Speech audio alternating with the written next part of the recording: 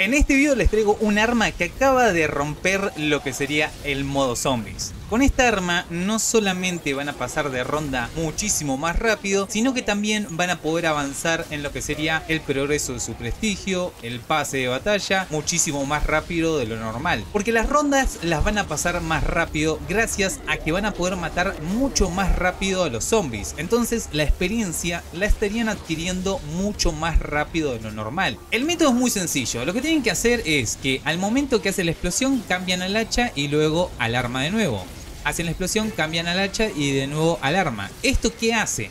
Esto hace que el arma se refresque lo que sería el cooldown por hacer la explosión. Recuerden que al hacer la explosión esta, el arma queda deshabilitada por 16 segundos.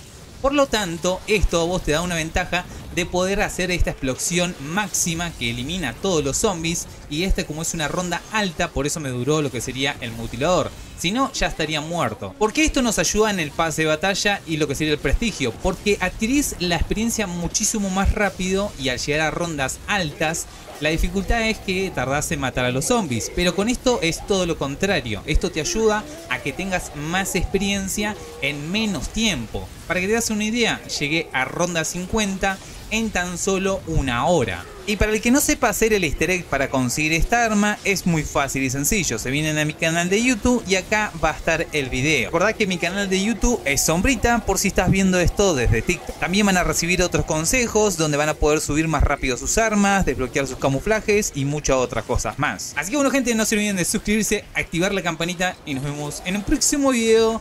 Hasta luego.